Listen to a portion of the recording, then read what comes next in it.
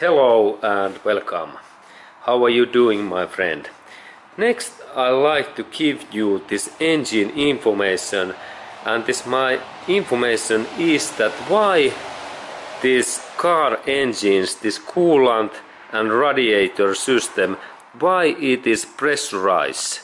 That why there is pressure inside in that, that our system when engine is running and, and when engine is hot.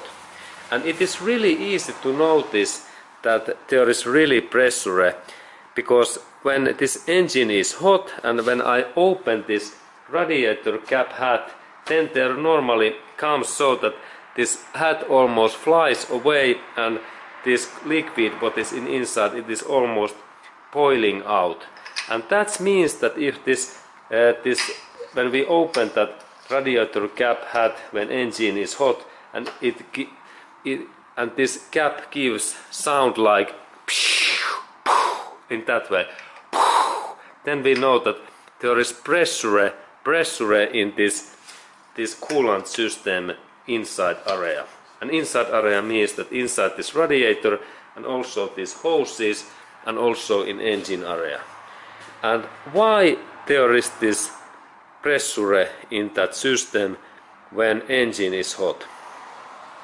Okay, it's only physics and this thermodynamic, if I remember right.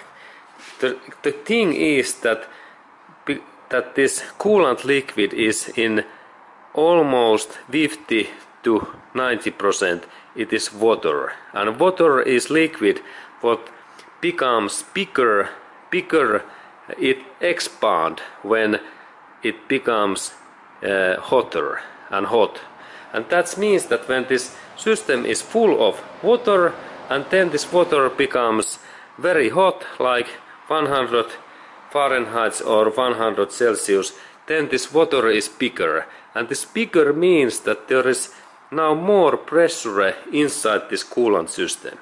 It is like this thermo thermodynamic those laws maybe something like Pascal or what was this? Pascal law or something like that if I remember right. But but these motors and these engines hot temperature makes this high pressure in inside this our coolant and cooling system.